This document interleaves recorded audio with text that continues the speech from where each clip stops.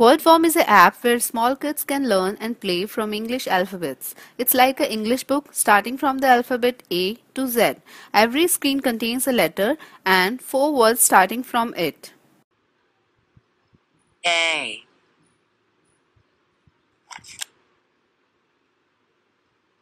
This is the information page which navigates us about the app. You can tap on any icon to listen to the audio.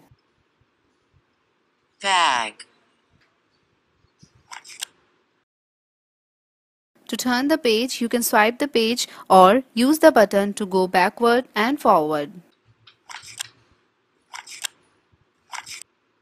After some letters, there is an activity for kids and kids have to complete it to go to the next page.